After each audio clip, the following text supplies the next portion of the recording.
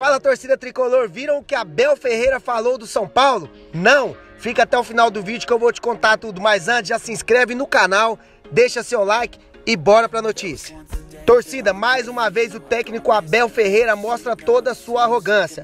Perguntado sobre o rival São Paulo, toda vez tirar o Palmeiras das competições, fazer com que o Palmeiras tenha dificuldade na partida, ele respondeu da seguinte forma: Segundo Abel Ferreira, todas as vezes que ele enfrentou o São Paulo, o Palmeiras foi muito melhor.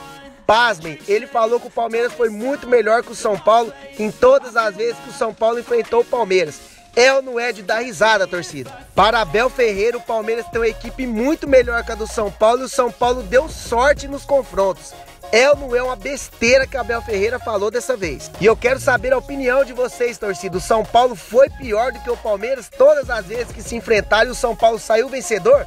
Deixa a sua opinião aqui nos comentários. Não esquece de se inscrever no canal, deixar o seu like, saindo mais notícias do nosso tricolor eu trago para vocês em primeira mão. Vamos São Paulo!